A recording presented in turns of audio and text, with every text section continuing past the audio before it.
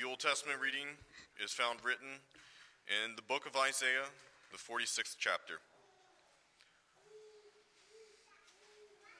Bel bows down, Nebo stoops. Their idols are on beasts and livestock.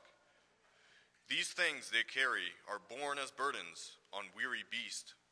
They stoop, they bow down together. They cannot save the burden, but they themselves go into cap- captivity. Listen to me, O house of Jacob, all the remnant of the house of Israel, who have been borne by me from before your birth, carried from the womb. Even to your old age, I am He, and to gray hairs, I will carry you. I have made, and I will bear. I will carry, and I will save. To whom will you liken me, and make me equal, and compare me, that we may be alike? Those who lavish gold from the purse, and weigh out silver in the scales, hire a goldsmith, and he makes it into a god. Then they fall down and worship. They lift it to their shoulders, they carry it, they set it in its place, and it stands there. It cannot move from its place.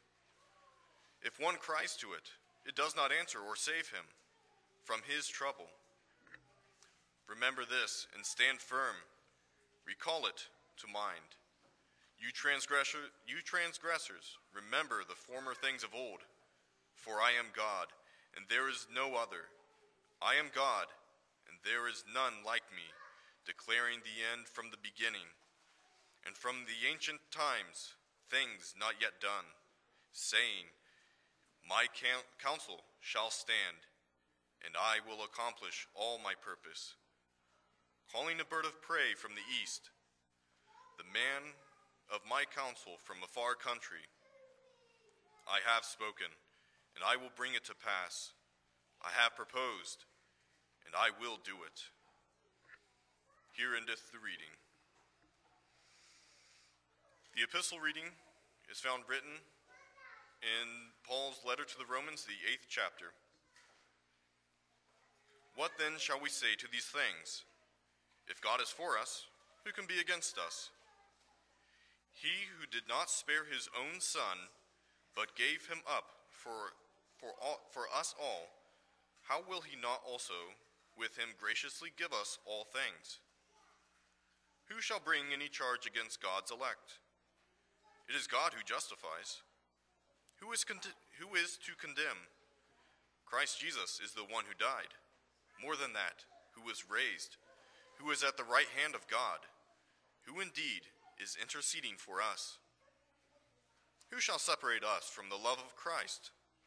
Shall tribulation, or distress, or persecution, or famine, or nakedness, or danger, or sword?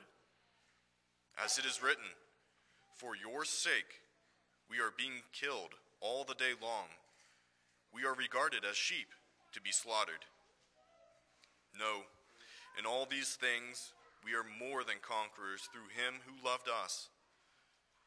For I am sure that neither death nor life, nor angels, nor rulers, nor things present, nor things to come, nor powers, nor height, nor depth, nor anything else in all creation will be able to separate us from the love of God in Christ Jesus our Lord. Here ends the reading. Our Holy Gospel reading is found written in the Gospel according to St. John, the 16th chapter. Please stand in reverence to the Gospel.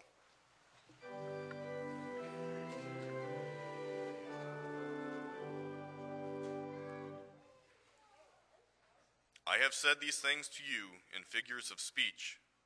The hour is coming when I will no longer speak to you in figures of speech, but will tell you plainly about the Father. In that day you will ask in my name. And I do not say to you that I will ask the Father on your behalf. For the Father himself loves you, because you have loved me, and have believed that I came from God. I came from the Father and have come into this world, and now I am leaving the world and going to the Father. His disciples said, Ah, now you are speaking plainly and not using figurative speech. Now we know that you know all things and do not need anyone to question you. This is why we believe that you came from God.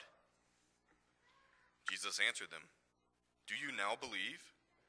Behold, the hour is coming. Indeed, it has come. When you will be scattered, each to his own home, and will leave me alone. Yet I am not alone, for the Father is with me. I have said these things to you, that in me you may have peace. In the world you will have tribulation.